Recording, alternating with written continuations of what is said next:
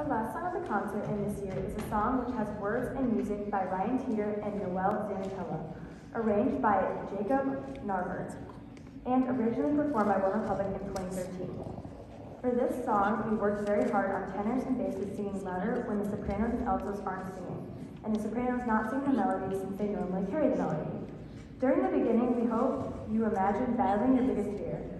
During the chorus, you're living your wildest dreams, and during the end, you are completing the scariest things to you, such as going on a roller coaster or skydiving.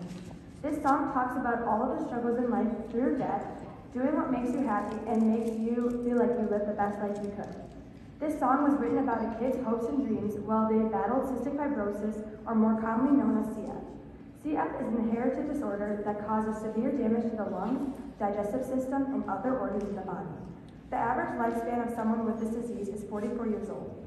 Copeland Cruz Tedder, whose dad co-wrote the song for him, is still alive today and is currently 11 years old.